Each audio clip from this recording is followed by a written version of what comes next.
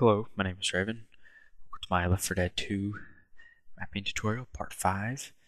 Um, as you can see, we're not using our uh, continue. We're not going to continue on with the campaign we're making. Instead, we're going to talk about um, manipulating like the brushes as well as rotating objects. Because if you've ever tried to rotate objects in Hammer before, you know it can be quite difficult. So the first thing we're going to do is I've already selected the dev texture the gray dev texture. And I'm just going to create a quick block really quick. Alright. So, if you have our select tool selected, the first thing that you'll see, this is the scale tool. That allows you to scale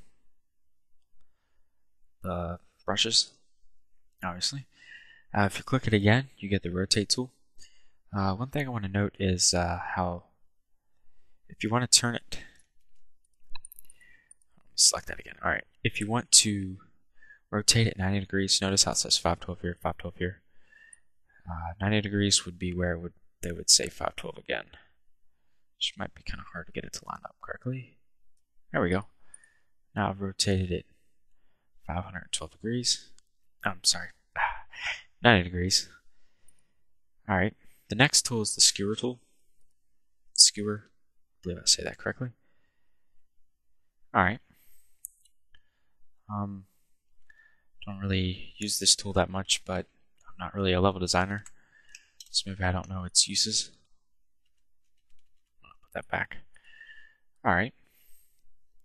So, that's a quick little introduction to that. Um, just kind of experiment and play around with it. But if you're having problems rotating, you can zoom in and try to get the dotted lines to line up correctly or you can just look at the two degrees and know that when this degree is over here and that when this degree is over here, you've rotated it 90 degrees.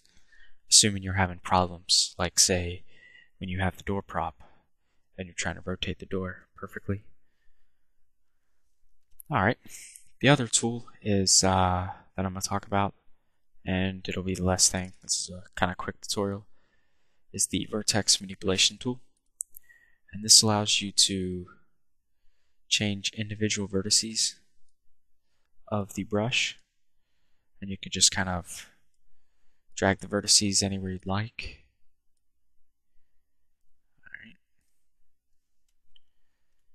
Now, as you can see right now, um, the, the brush is still as it was before. Uh, if you want to apply these changes, just switch switch tools and as you can see, the changes that we've made in vertex manipulation have been added.